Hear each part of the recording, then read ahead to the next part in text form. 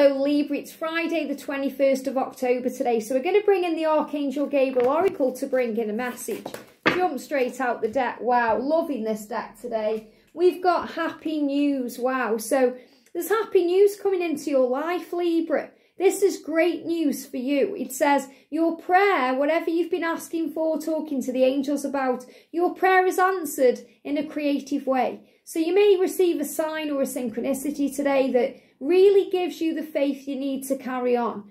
Or you may receive what you're looking for today, what you've been asking for. Maybe this is the day that you receive communication or that job offer comes in or something you didn't even expect to happen starts to happen.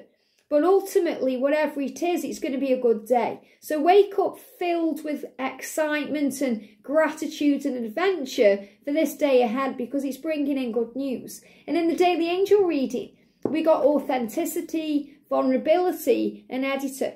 So when we are vulnerable and open and loving, then we open doors to be authentic. When we're being ourselves and loving life and giving back to ourselves and getting rid of things that don't serve us and releasing things and surrendering. So in other words, we're editing out the things we no longer need. We are open to the good.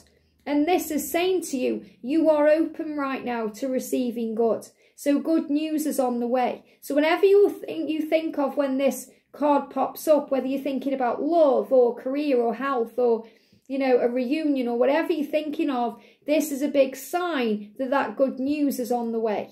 Have a great day, sending you so much love, and I'll see you soon.